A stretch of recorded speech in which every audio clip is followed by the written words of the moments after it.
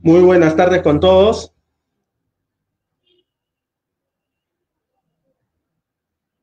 Muy buenas tardes con todos. Eh, sean bienvenidos a esta charla sobre los dinosaurios en el Perú. Eh, mi nombre es Iván Alvarado. Eh, soy miembro del Departamento de Paleontología de Vertebrados del Museo de Historia Natural.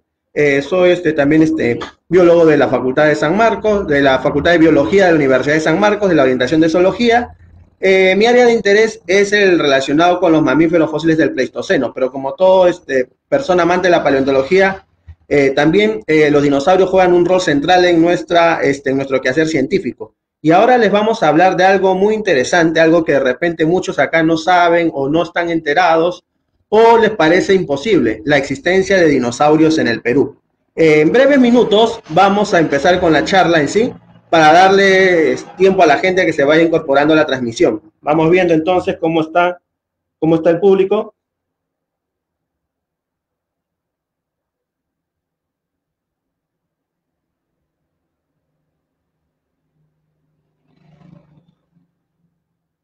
En breves minutos comenzaremos entonces.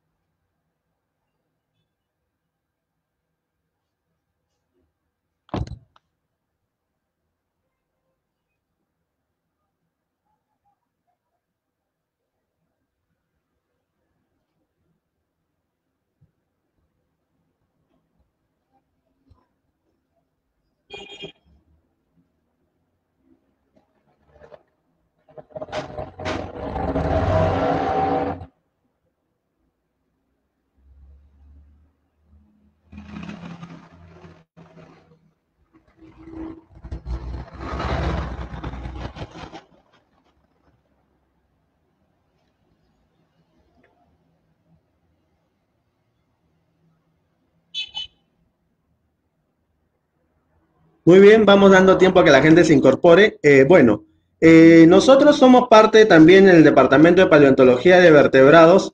hemos formado también un emprendimiento científico que se llama eh, Paleo School y que está integrado por, varios, por varias este, personas también del ámbito de la paleontología. Hemos, bueno, más adelante le vamos a hablar de eso, ¿no? De nuestros cursos que estamos lanzando.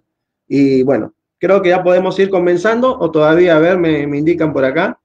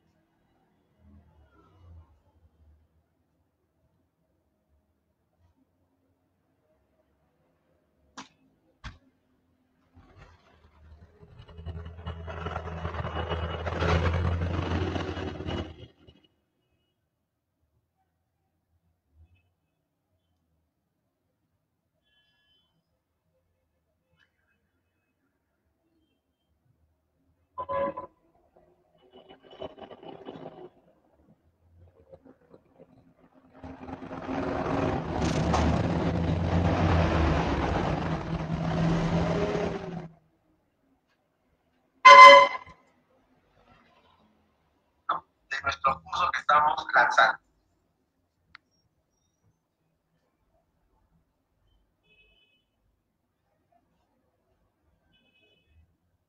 Muy bien, entonces eh, comencemos. Bueno, esto lo hablaremos más adelante. Ahora sí, entrando al tema. Dinosaurios en el Perú.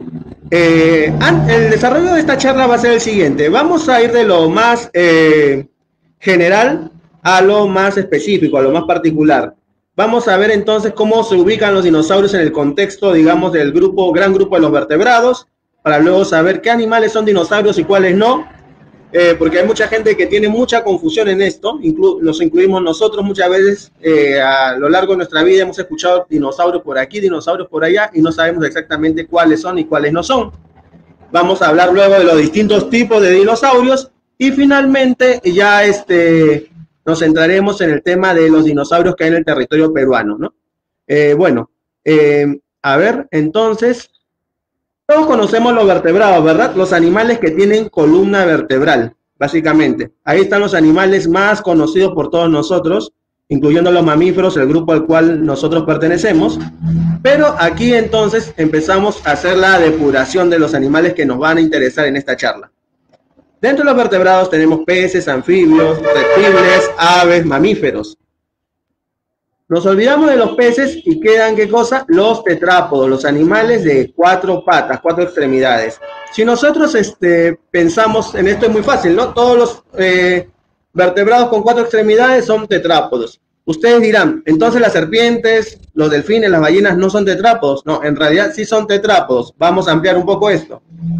Tetrápodos son los animales que o bien tienen actualmente cuatro extremidades o descienden de antepasados que tenían cuatro extremidades. Se sabe que las serpientes descienden de animales parecidos a lagartos, a lagartijas, que tenían eh, cuatro extremidades.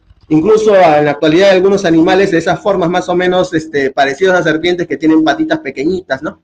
E incluso algunas serpientes todavía tienen unos vestigios de las patas traseras, pequeños y no funcionales, ¿no?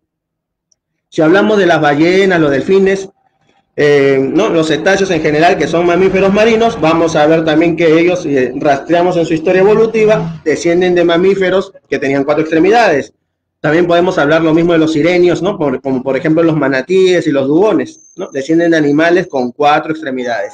Entonces ahí estamos hablando ya de lo que son los, eh, los este, tetrápodos en general. Acá vemos un montón de animales que seguramente algunos por acá pensaban que son dinosaurios, ¿no?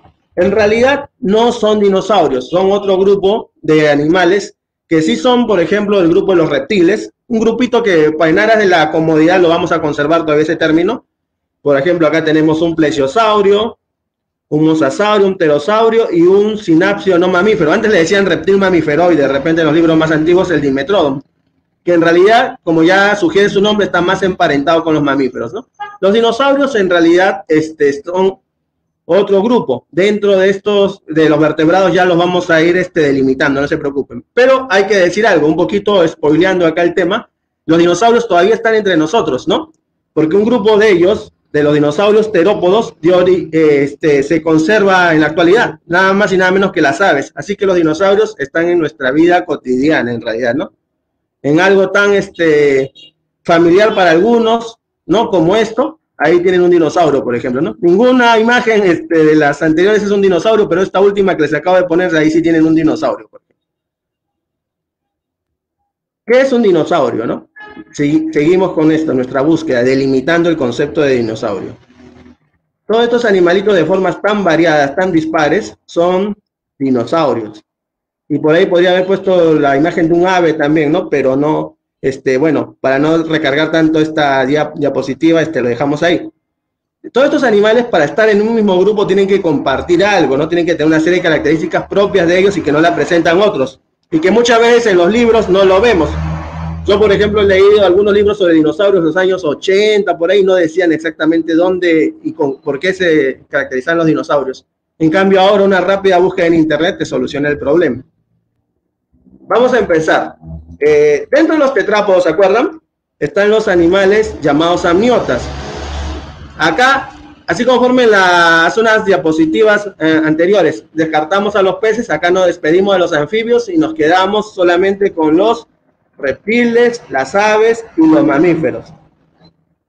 Los reptiles, las aves y algunos mamíferos, como los monotremas, tienen este, huevos con cáscara dura, una cáscara que los protege del ambiente seco del exterior. Estos animales, los amniotas, se han independizado del medio acuático, no son como los anfibios que siempre necesitan algo de humedad para poder reproducirse.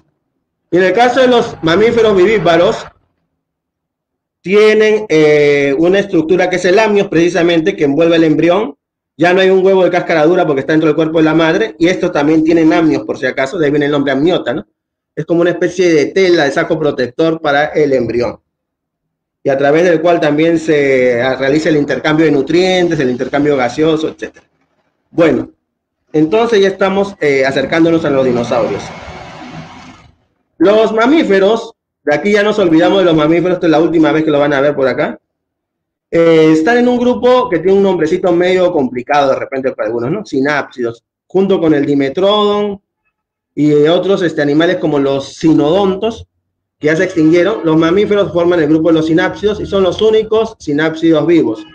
Los sinápsidos se caracterizan porque detrás de la abertura ocular, esta enorme que está acá al centro, tienen una abertura posterior, detrás de los ojos, ¿no? Que está en esta posición más o menos. Claro, no siempre se conserva porque no en por ejemplo, los mamíferos no hay una abertura así notoria, exactamente así como en los sinápsidos más antiguos, por si acaso, ¿no? Eh, acá tenemos ahora dentro de los las aves y reptiles, acá ya está el grupo que nos interesa para esta charla, conforman el grupo, la, gran categoría de los saurópsidos. Estos se caracterizan por tener unos cráneos un poco diferentes a los demás, este, al, caso de los sinápsidos. Tenemos el cráneo diápsido, día, dos, ¿no?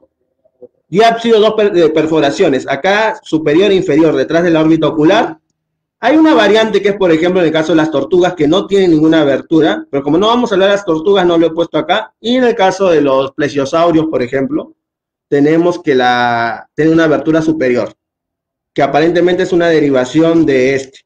Incluso se cree que las tortugas en el fondo son diápsidos que han perdido sus aberturas, ¿no? Pero bueno, ya entonces sabemos que reptiles y aves son saurópsidos. Eh, Ahora vamos al grupo de los arcosaurios. Ustedes acá ven esta imagen, bueno, ya intuirán pues que los dinosaurios, que las aves son los dinosaurios de la actualidad, ¿no?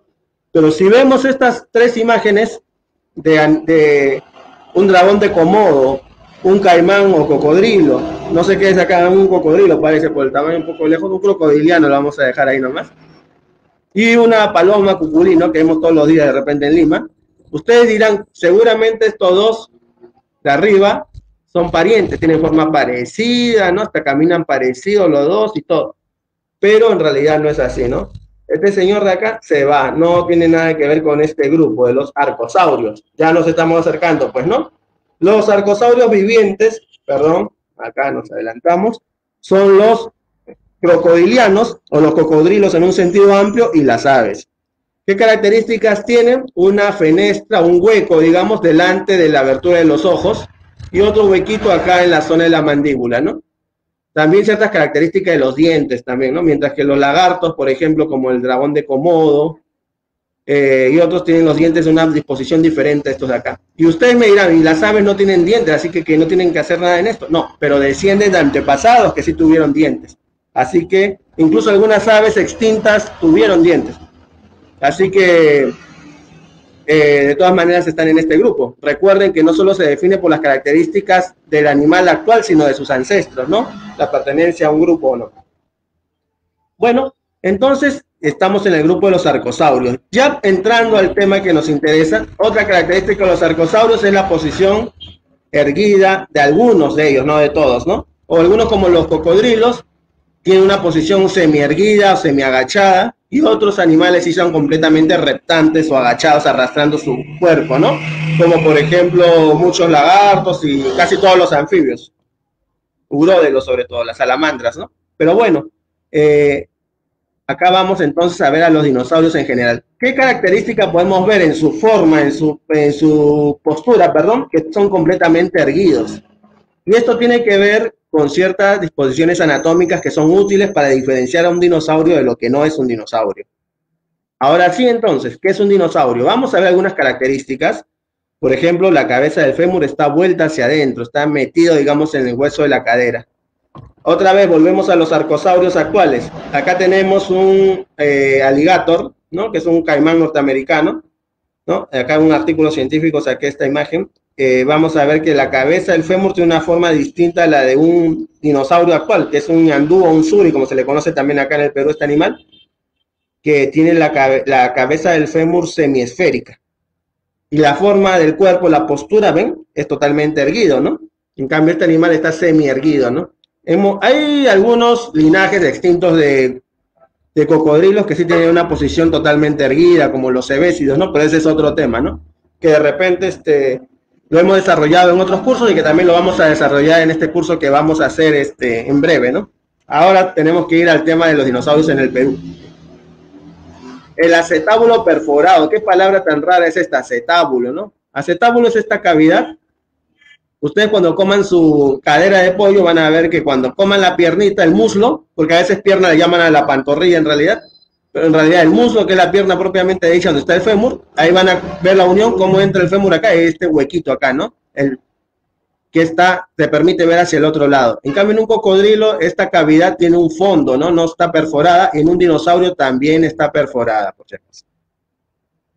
Son como 17 características que definen un dinosaurio. Acá obviamente voy a poner algunas nada más. El resto ya lo vamos a, ya lo vamos a ver este, en el curso que estamos desarrollando en más detalle. Y bueno, como dije, el fémur posee una cabeza en forma de media esfera, ¿no? Medio redondito ahí, ¿lo ven?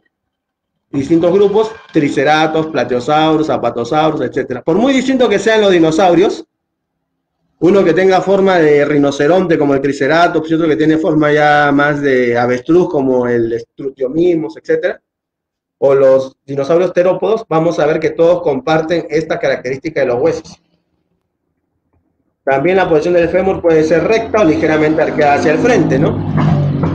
El astrágalo, que es otra palabra media rara, por ahí es un huesito que tenemos nosotros también en el tobillo. Los dinosaurios tiene una especie de proceso, una prolongación que se va hacia arriba y que tapa un poco la cara anterior de la tibia, o sea, el hueso este de la espinilla, por ejemplo, ¿no? Para que se ubiquen más o menos de qué estamos hablando. Acá, justo. Y el cuello en forma de S. En los dinosaurios saurópodos de gran tamaño, esta S es como una S estirada, ¿no? Pero en los otros dinosaurios el cuello es más en una S en una forma más marcada, igual en las aves, ¿no? Ahora sí, vamos a ver la clasificación de los dinosaurios. La clasificación tradicional que seguramente muchos han escuchado es la de ornitisquios, saurisquios, ¿no? Y dentro de los saurisquios están los saurópodos y los terópodos, que son los dinosaurios bípedos, o sea, que andan en dos patas carnívoros. Estos dinosaurios, eh, esta clasificación, perdón, ha estado casi sin mucho este, problema durante 130 años, más o menos. Pero en el 2017, bueno, después vamos a hablar ahorita de eso, me estaba adelantando, eh, vamos a definir qué es un saurisquio y un ornitisquio. Isquio significa cadera, por ahí me recuerda a alguien que usa mucho ese término. Y, y así tenemos saurisquios, cadera de lagarto, ornitisquio, cadera de ave. Estos son los tres huesos involucrados, el, perdón, el ilion, el isquion y el pubis. Eh, esta es la forma que tienen los saurisquios y esta es la de los ornitisquios, ¿no? Acá tenemos de dónde nos ubicamos, este, los huesos de la cadera. Y eh, lo curioso es que las aves están relacionadas con los saurisquios, por si acaso, no con los ornitisquios. O sea, la forma de cadera de ave no indica un parentesco con las aves en este caso, sino es una similitud superficial que no tiene un valor, eh, digamos, para establecer parentesco porque hay otras muchas más características que ahora sería ya un tema muy técnico ya mencionarlas, que definen a las aves dentro de este grupo, ¿no? Y en el 2017, le decía, una clasificación propuesta por varios científicos, un Baron, que es uno de ellos, y otros más, que proponen este grupo, Saurisquia y Ornitocélida.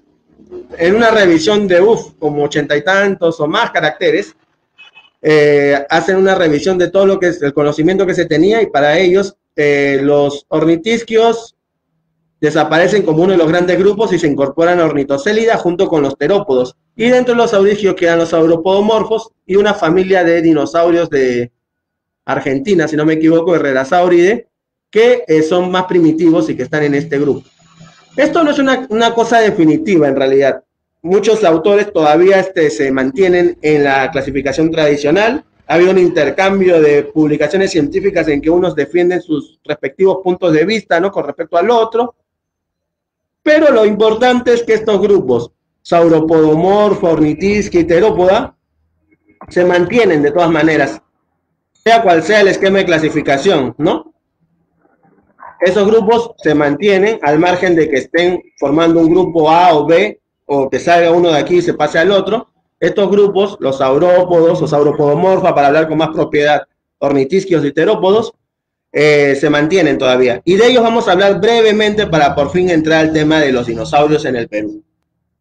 Los terópodos son los dinosaurios quizás más carismáticos, ¿no? Junto con los otros, los saurópodos de cuello largo, eh, porque acá están la mayoría de dinosaurios malos de las películas, ¿no? Los bípedos carnívoros, que bueno, eh, dentro de los que quedan las aves, precisamente, ¿no? Son muy variables de tamaño. Ahí pueden ver la imagen de unas como avecillas y otros muy grandes y otros mucho más grandes que no están acá en el dibujo. Tienen el cuello en forma de S, bastante, ¿no? Clásico en ellos, en este linaje.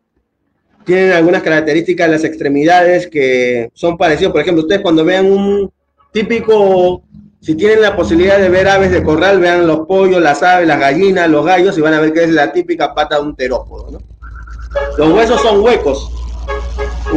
Eh, uno, por ejemplo, ha leído a veces que las aves, una adaptación para el vuelo es este, los huesos huecos, pero en realidad no es exactamente que es así, porque ya sus antepasados o sus parientes, algunos de ellos muy grandes que evidentemente no volaban, tenían huesos huecos, ¿no? Solo que esto de alguna manera a las aves les facilitó precisamente este tipo de, de desplazamiento, el ya tener previamente los huesos huecos, ¿no?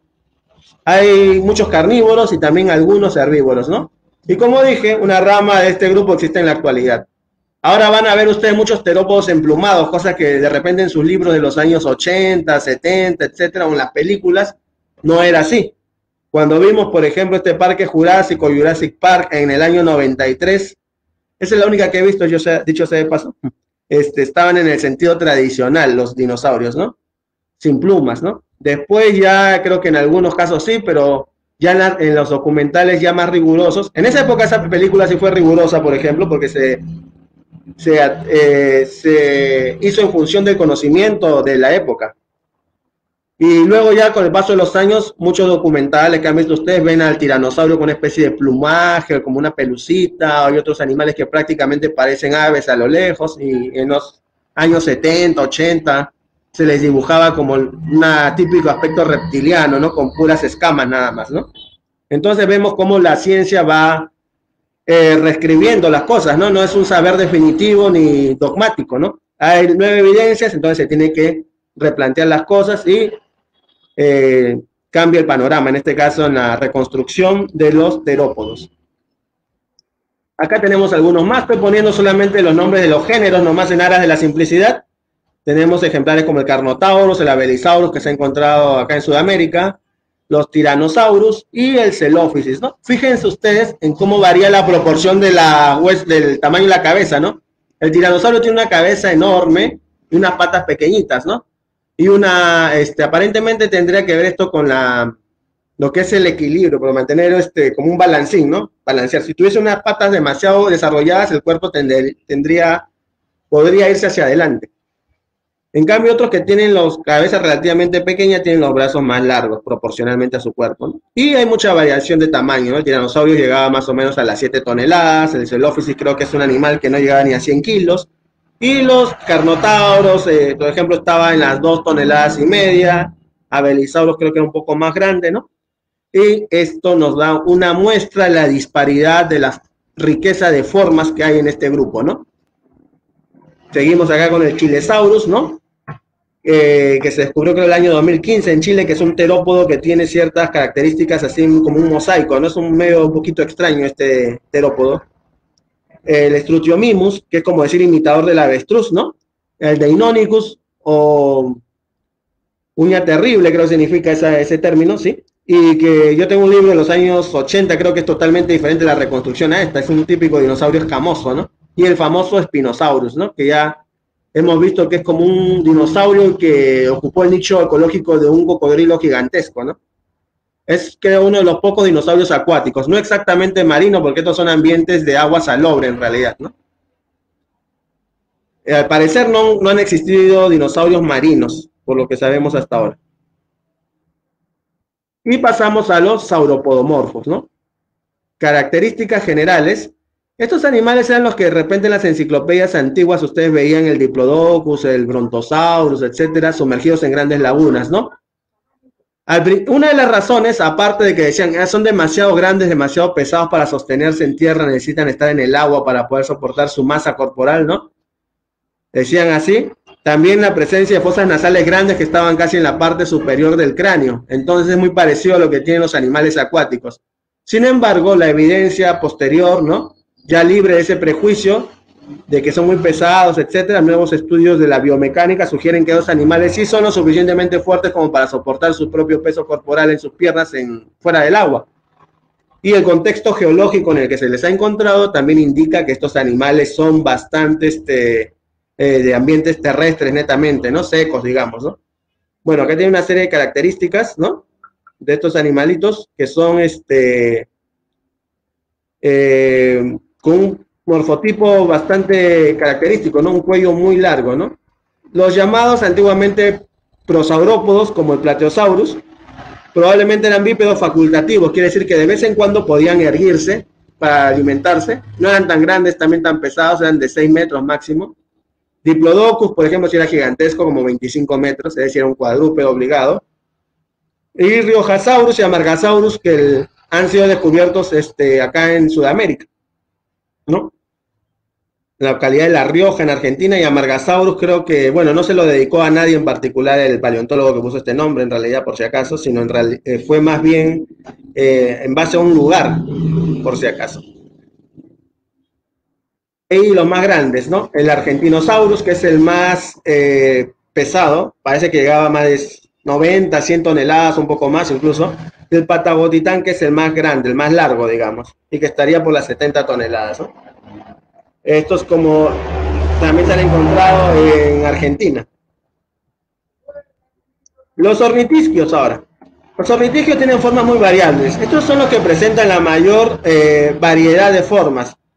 Hay unos, por ejemplo, está el Triceratops, el Estegosaurio, el Iguanodón, los Hadrosaurios, estos picos de pato, el Lesotosaurus, los que parecen como armadillos este, en versión dinosaurio, como los anquilosaurios, todos estos animales, a pesar de lo diferentes que son, comparten algunas características que los unen, ¿no? Por ejemplo, aquí tenemos este huesito que está pintado de verde, es el predentario. Esto es como una especie de anclaje para una estructura cartilaginosa, como un pico que tenían estos animales, parecido al hocico de una tortuga, que les permitía eh, alimentarse de plantas principalmente. Por lo que yo sé, básicamente todos estos animales eran herbívoros. Vamos a ver algunos géneros. Abajo tenemos el Nodosaurus. Quizás esto de acá, que ven acá en esta vitrina, es un fósil de verdad. No es una reconstrucción. Debe ser uno de los mejores fósiles del mundo, ¿no? Porque tiene unos detalles alucinantes de la piel. Si no me equivoco, esto es de Canadá ahí la reconstrucción del animal, el Triceratops, el Pachycephalosaurus, el Parasaurolophus y tantos otros, solo por poner un pantallazo de lo que es la diversidad morfológica de este grupo, ¿no? Y ahora sí, dinosaurios en el Perú. Ya sabemos qué dinosaurios existieron, cuáles son dinosaurios, cuáles no. Ahora que se vayan a su casa, eh, bueno, están en su casa en realidad, ¿no? No han salido.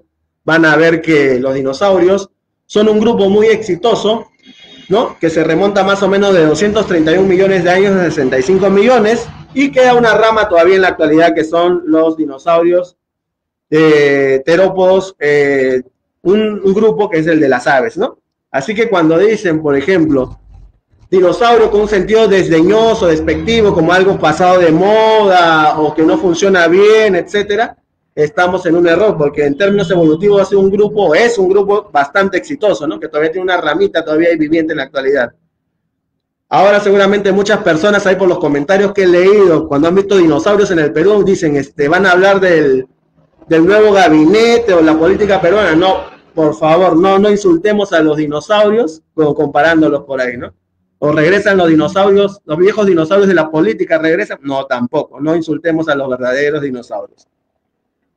Así que vamos entonces al contexto geológico. Eh, antiguamente, seguramente ustedes, eh, yo también me incluyo, cuando nos enseñaban la cera geológica decían era primaria, era secundaria, era terciaria, era cuaternaria, ¿no? Bueno, esos términos un poquito que ya han caído en desuso, si ustedes ven la literatura actual, van a ver que dice paleozoico en vez de era primaria, mesozoico en vez de era secundaria y cenozoico en vez de era terciaria. Y lo que es el cuaternario sí se conserva todavía con ese nombre. Bueno, y eso conforma el león fanerozoico, ¿no? Pero bueno, de esto no nos vamos a ocupar, sino básicamente del mesozoico, que es la famosa era de los dinosaurios. Eh, en fin, está conformado por los periodos Triásico, Jurásico y Cretácico. En lo que es el Pérmico, este es el esto es ya el Paleozoico, la era primaria antiguamente. Acá están viendo cómo los continentes han cambiado, ¿no? No porque alguien viajó en el tiempo y se puso a mirarlos por si acaso, sino porque hay evidencia geológica a partir de la deriva continental, estudio de la tectónica de placas, ¿no? Quizás el ejemplo más intuitivo, más, eh, digamos, clásico para saber esto es ver que Sudamérica y África encajan casi como las piezas de un rompecabezas actualmente, ¿no? Con las otras masas continentales no hay tantas, eh, quizás, eh, esta especie de coincidencia, pero de todas maneras se puede reconstruir razonablemente la, la trayectoria de los continentes. Los continentes están moviéndose, ¿no? También de aquí a unos millones de años no va a ser como los vemos ahora, ¿no? Bueno, en el Triásico ya se va configurando, se fragmenta Pangea, seguramente han escuchado ustedes de este supercontinente, y va a dar origen a dos masas principales, ¿no? La masa boreal o norte, la Eurasia, y la, y la masa meridional sur, Gondwana, que es donde parece que se originaron los dinosaurios, más o menos por esta parte de acá, en lo que ahora es parte de Argentina, parte de Sudáfrica también. Y eh, bueno, estos continentes eh, se van entonces configurando de esta manera, ¿no? Y esto es muy importante porque tiene que ver con el caso peruano, sí, por supuesto. El Perú, digamos, en el Cretácico, que es la parte final ya del Mesozoico, estaba prácticamente sumergido buena parte del territorio bajo el mar. ¿Cómo sabemos esto? Porque eh, los yacimientos eh, fosilíferos de esta época son ricos sobre todo en organismos marinos y sedimentos marinos, ¿no? Ah, se puede distinguir cuando un sedimento es esto de origen marino, de uno continental, ¿no? Bueno, ya ese sería un tema para otro curso, para desarrollarlo más, ¿no? Acá no nos vamos a extender en ese tema que es bastante técnico, pero más o menos, imagínense que esta parte de acá, esta masa, esta gris, es como una especie de faja de tierra que es lo único que habría en el caso del territorio peruano en el Cretácico. Y precisamente al ser los dinosaurios eh, animales de hábitos terrestres, entonces tendríamos a los dinosaurios acá, en esta parte del territorio, no lo vamos a encontrar en el mar, salvo que en caso muy esporádico de un cadáver arrastrado a, hacia el mar y que tengamos la suerte de justo encontrarlo, ¿no? Pero eso es, en términos de probabilidades, muy, muy raro, aunque no se descarta, creo que por ahí han habido, han ocurrido hallazgos de ese tipo, ¿no? Bueno, entonces, el territorio peruano tampoco es como dicen algunos, que solamente este, la cordillera de los Andes era la parte más alta y por lo tanto ahí nomás estaban los dinosaurios, porque más o menos eso da a entender este gráfico, ¿no? No, no es así. Lo, ¿Cómo sabemos? Porque los estudios que se han hecho sobre la cordillera de los Andes revelan que esta se fue elevando en la era del Cenozoico, en el llamado terciario, ¿no? Entonces, este Mesozoico, este, en el Cenozoico recién se van levantando la cordillera de los Andes y en entonces nada que ver con que en el Mesozoico, o sea, la era anterior, existiese esta cordillera y entonces estuviese más elevadas por sobre el nivel del mar. No, en realidad es, era fondo marino y eso lo revela que muchas localidades andinas tienen este, fósiles de, tienen fósiles de eh, invertebrados marinos. Si ustedes van al museo cuando ya se reabra o hacen su recorrido virtual ahora aprovechando las circunstancias, eh, van a ver que hay una sección de geología donde van a ver los fósiles marinos del, Perú. Y sorprendentemente están en localidades de la sierra, ¿no? Que están a 3.000, 4.000 metros en la actualidad, ¿no? Y en el caso de, los dinosaurios son eh, más bien afloramientos fosilíferos continentales. El más famoso quizás también es este de acá, el del museo que también justo tenemos acá, este es el titanosaurio de Bagua.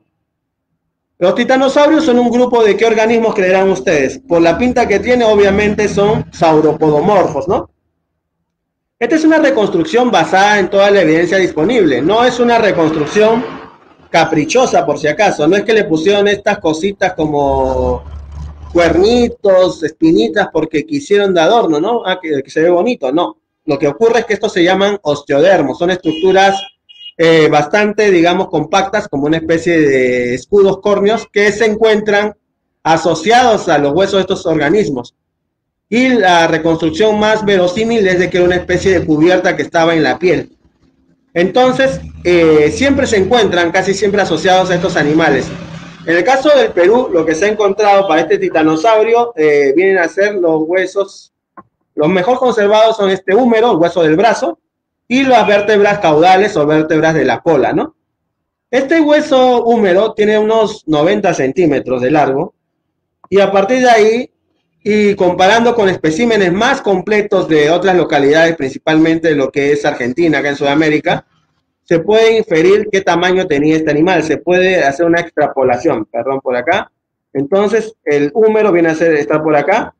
Si tienes un número de 90 centímetros, entonces puedes tener un animal de una masa determinada, ¿no? Hay este, cálculos sofisticados, ecuaciones que tú, por ejemplo, tienes, cuando ya tienes una suficiente cantidad de organismos que has este, estudiado, a partir del tamaño de un hueso puedes deducir cuánto medía o cuánto pesaba ese animal, ¿no? Y entonces esta reconstrucción se ajusta a eso, ¿no? Esta reconstrucción no la han hecho este tamaño porque justo entra en este recinto, ¿no? No, sino es basado en este, en este hueso húmero de acá. Si hubiese, por ejemplo, sido un hueso mucho más grande, de repente tendrían que haber hecho un, una maqueta de titanosaurio mucho más grande también y no entraría en ese lugar. Tendrían que haberlo puesto de repente en los exteriores del museo, ¿no? Eh, bueno, esto de acá proviene de la formación Chota, en Bagua, Cretácico Superior. Ustedes dirán, los que saben más o menos de geografía, pero Chota está en Cajamarca, ¿por qué me dice Bagua que está en Amazonas? Acá no se está engañando el, expositor. No, lo que pasa es que la formación Chota es una, digamos, eh, formación geológica, quiere decir una zona que tiene ciertas características comunes que se extiende por un territorio determinado, ¿no? Y abarca, obviamente, también, como se sugiere su nombre, lo que es la, región este, Cajamarca, y también Amazonas, ¿no? Acá tenemos un mapita con estos gráficos y dentro de las formaciones hay unas subdivisiones que se llaman miembros. En este caso se llama miembro Rentema, la localidad de donde proviene el, el este, titanosaurio, que aproximadamente tiene unos 65 a 68 millones de años de antigüedad. O sea, está justo casi en el límite con la gran extinción del Cretácico, de fines del Cretácico. Ya la formación este, eh, perdón, el miembro Esperanza, la formación Chota, ya es mucho más reciente, ya pasa la época de la extinción, ¿no? Y este es un tema geológico, ya más técnico también. Por ahí lo podemos de repente compartir los artículos científicos para las personas más interesadas en estos temas. Y también se han expuesto y se van a seguir exponiendo en los cursos que estamos este, brindando nosotros al público interesado. Muy bien, entonces pasamos a las ignitas. Para muchos este, puede ser una novedad, ¿no? saber que las huellas se fosilizan también y que pueden quedar ahí como un registro importante. No solamente los fósiles corporales, o sea, lo que proviene del cuerpo propiamente de hecho el animal, como los huesos o a veces fragmentos hasta extraordinariamente de piel o los dientes, son este, importantes, sino también la evidencia y la actividad. Tenemos huellas fósiles en el Perú. Eh, lo que es Guansalá Ancash, eh, del Cretácico inferior, estos, eh, tengo entendido que cuando hicieron un camino, una carretera, pero no solamente un camino, sino una carretera, porque he visto el video, ¿no? Las imágenes es una carretera muy bien hecha y todo, tuvieron que romper el cemento fresco, etcétera, y se hunde, ¿no? Y queda la forma del pie, ¿no? O de la pata del animal. Pero acá ustedes ven que es algo más bien lo contrario, más que ser un hundido, es algo que sobresale, ¿no? Entonces, ahí estamos hablando de un contramolde. ¿Qué cosa es un contramolde? Es como decir que la, el hueco que deja la huella se rellena de sedimento, le otro tipo de sedimento, piedritas, arenita, lo que ustedes quieran. Con el paso del tiempo eso se solidifica y luego, este, más bien lo que lo rodea, todo lo demás tiende a desaparecer, a fragmentarse y va quedando solamente eso, el relleno de la huella, ¿no? Que viene a ser un contramolde. En este caso estamos hablando ahí de un contramolde, ¿no? Por eso que es algo que sobresale, no que está hundido, por si acaso, ¿no?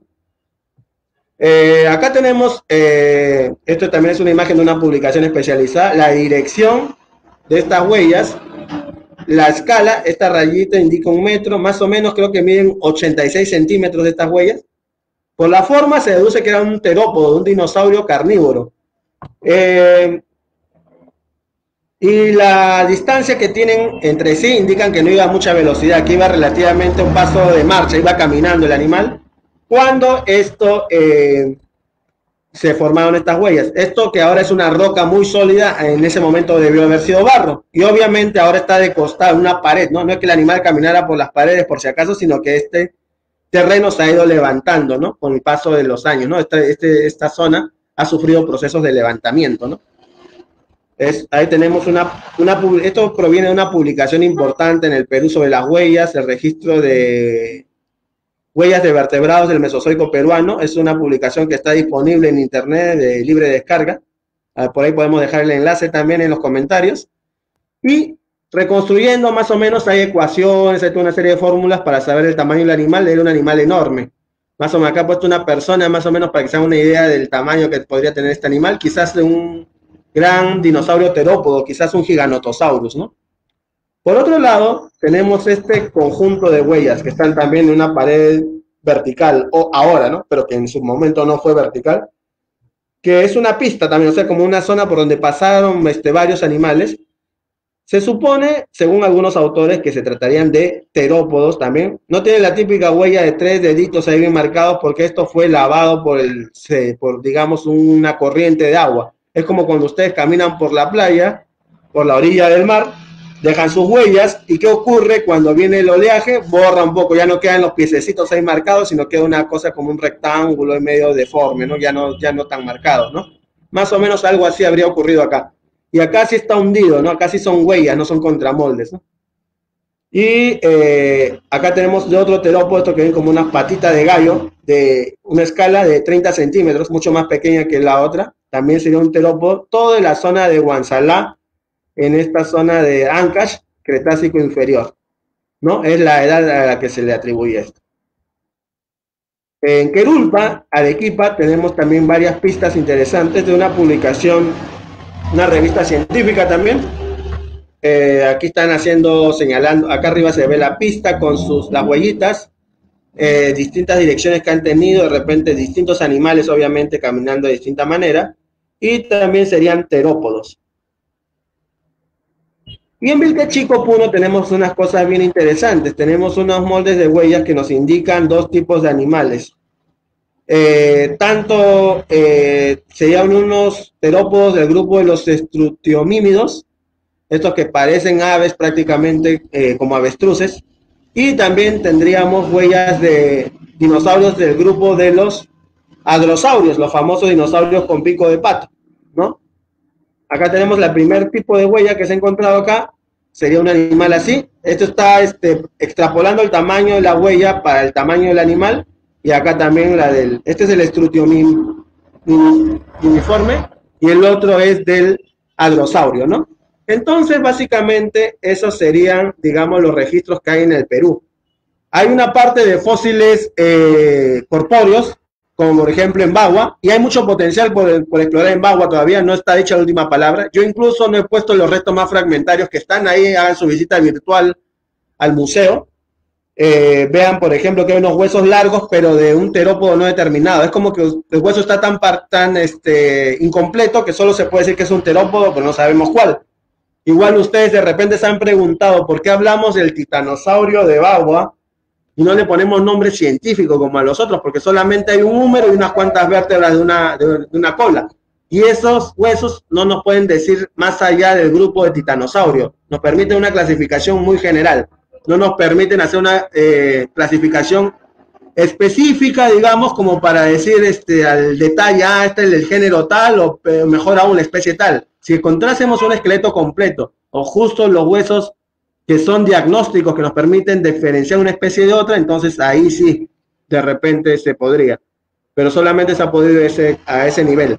Y si ustedes leen estos artículos de las huellas, de repente se van a encontrar con algo muy extraño, que las huellas también tienen como un nombre científico, ¿no? Yo no he entrado en ese tema acá porque es ya más técnico, pero sí, hay una nomenclatura para los rastros, para las huellas, para los signofósiles. No quiere decir que la huella en sí represente por sí mismo sea una entidad viviente del pasado, sino que nos da una idea del grupo de animal al que pudo haber pertenecido, por si acaso, ¿no? Ya es un tema que también hemos desarrollado y vamos a seguir desarrollando en otros cursos que estamos haciendo. Y creo que por aquí quedamos.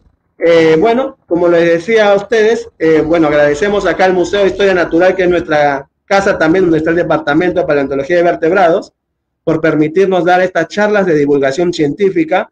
Eh, y nosotros también nos hemos proyectado más allá porque queremos hacer que la ciencia llegue a más gente, ¿no?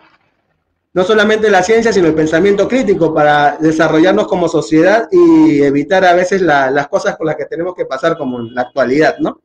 Bueno, les invito a que nos visiten en Palio School, nos pueden seguir en Facebook. Esto, como dije, no sé si lo dije al comienzo, un emprendimiento científico eh, desarrollado por Iván Mesa Vélez, conocido paleontólogo y escritor también, Joan Chaucaluyo, que también es una pieza vital en la logística de los viajes en el Departamento de Paleontología de Vertebrados. Eh, Walter Aguirre Díaz, que es un capo en lo que es este, la preparación de fósiles y también fundamental en las campañas en el campo. Y quien les habla, Iván Alvarado García. Bueno, este, estamos desarrollando cursos, como les mencioné al comienzo, hemos desarrollado y seguimos desarrollando. De alguna manera, en medio de estas dificultades de este año, nosotros nos hemos abierto camino, ¿no? Como decían en la película de Jurassic Park, ¿no? La vida se abrió camino, nosotros también, para no extinguirnos. Bueno, ha sido un gusto. Vamos a ver las preguntas entonces, ¿sí? Por ahí.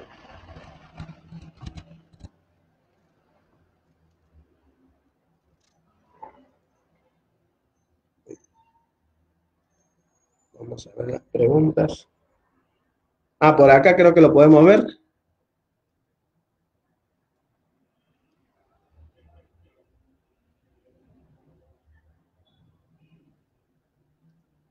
Mm, bueno, saludos, saludos.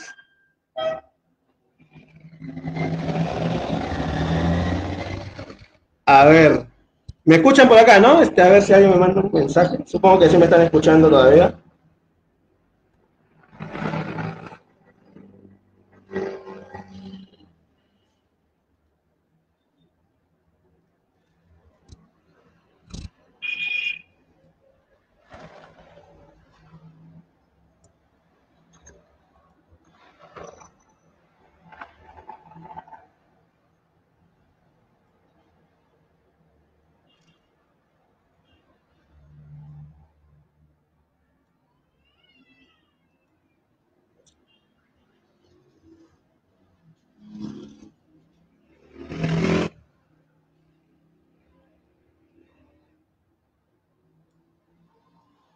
A ver, eh, voy a ver algunos comentarios. Lamentablemente acá este, solo veo algunos comentarios. No sé. En cualquier caso, en el peor de los casos, si se pierde alguno, lo voy a contestar directamente acá por escrito. A ver, por ahí, y, van corriendo los comentarios, también van saltando por aquí y por allá. A ver. ¿Cuál fue el primer dinosaurio descubierto? Bueno, eso ya se remontaría a lo que es esto. Eh, Inglaterra, si no me equivoco, tiene que ver con el tema de los iguanodontes y con el tema también de iguanodontes, ¿sí? Y con el gigantosaurus. Hubo también, es que no se puede decir con claridad porque hubo también algunos hallazgos en los años este, 1600 y pico que se confundieron con restos, por ejemplo, de animales gigantescos. Eh, también eh, lo que es eh, restos también que se atribuían a gigantes y otras cosas y resultaban ser de dinosaurios. Por ejemplo, un dinosaurio carnívoro en los años, en el siglo XVI, por ejemplo, ¿no? En la zona de Inglaterra. Por ahí, Fausto Antonio Collado Ríos. ¿Cuál es hasta ahora el dinosaurio más antiguo descubierto en el Perú? Buena pregunta, porque si se fijan bien, todos están más o menos en el rango del Cretácico superior, Cretácico inferior.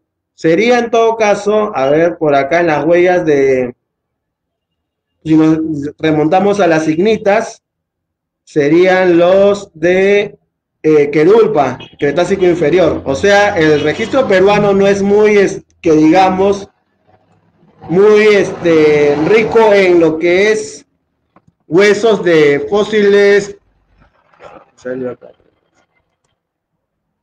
Huesos de fósiles eh, huesos de fósiles este, todo el, de todo el Mesozoico en realidad. Solamente es huesos de fósiles de, del Cretácico, básicamente. No es muy diversificado en todo, digamos. Básicamente serían los de Querulpa del Cretácico inferior.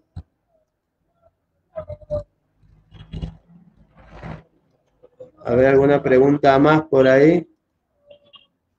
¿Tenemos dinosaurios aún vivos en el Perú? Pregunta Juan Banca. Eh, básicamente las aves, en el Perú y en el mundo. a, eso, eso me refería yo con que todavía viven dinosaurios, los dinosaurios terópodos, la línea de las aves nada más. Todos los demás dinosaurios no avianos están extintos en todas partes.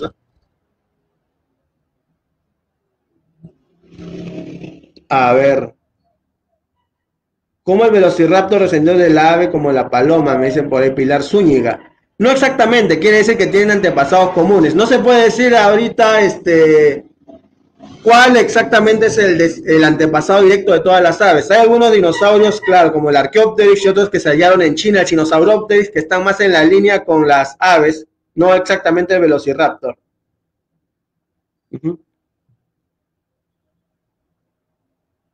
¿Cómo se sabe? Pregunta desconectado, dice, ¿no? ¿Cómo nos ¿Cómo se sabe cómo evolucionar? ¿Cómo no? Ah, no se puede saber, se puede reconstruir parte de la historia, pero no puedes decir paso por paso todos los, los pasos para llegar a, de un dinosaurio, una especie X, a un ave. Podemos establecer hipótesis de parentesco, hipótesis que son sujetas de, duda, son falibles, por ejemplo, que pueden estar o no estar en, en ser ciertas. De repente lo que pensábamos nosotros que era una hipótesis real, ahora resulta que ya no lo es en el, de aquí a unos años, ¿no? Porque hay nueva evidencia, ¿no? A ver, a ver, a ver, ¿qué más preguntas hay? Vamos por acá.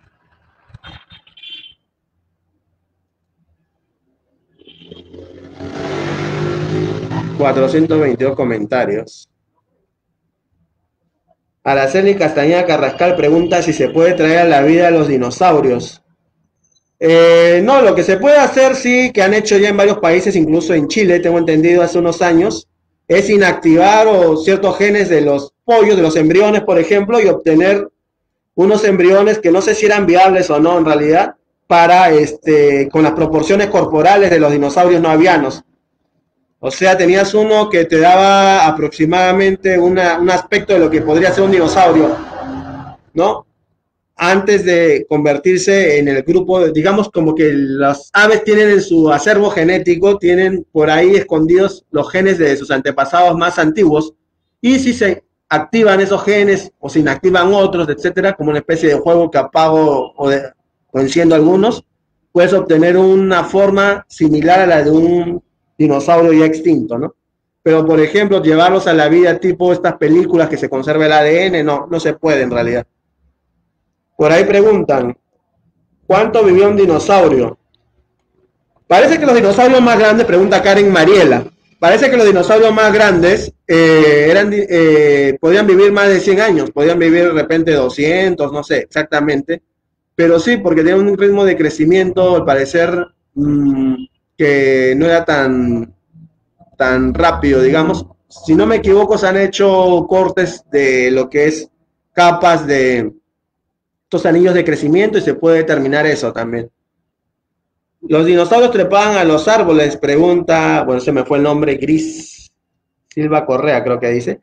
Sí, podían trepar, los más pequeños, los terópodos, por ejemplo, este, trepaban a los árboles. De hecho, este, Aparentemente el vuelo, una hipótesis hay de que las aves, como las conocemos, hay dos hipótesis, como que uno saltaban de las ramas hacia la parte baja, planeando más o menos.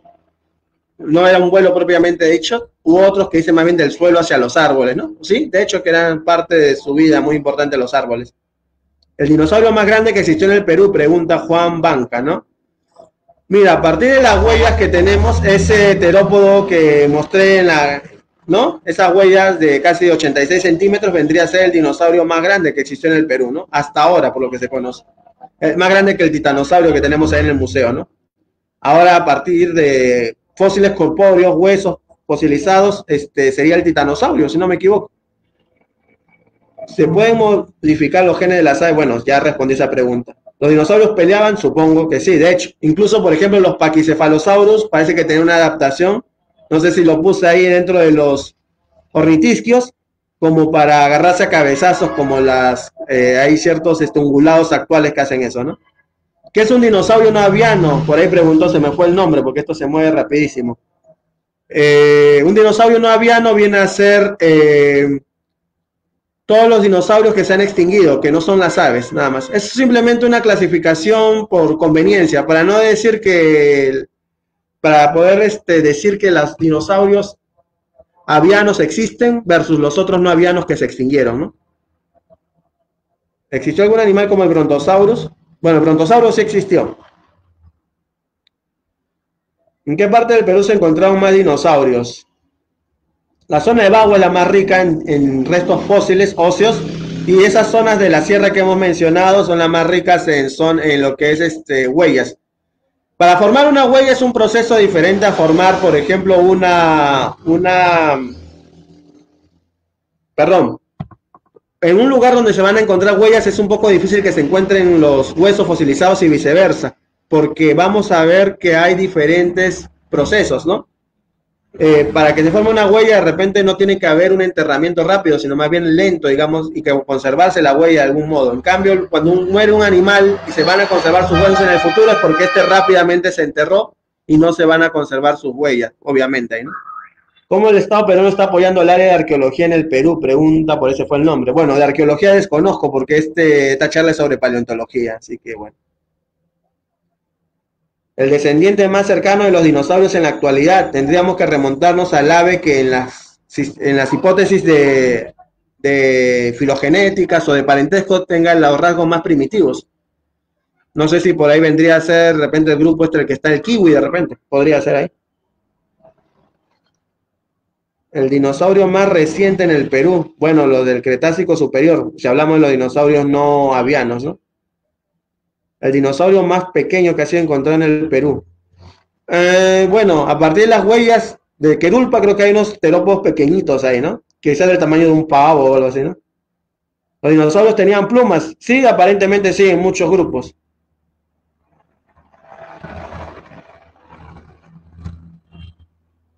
el Indominus, no, el Indominus no existe, es producto de la ficción de los, de los este, guionistas de una de estas películas, ¿no?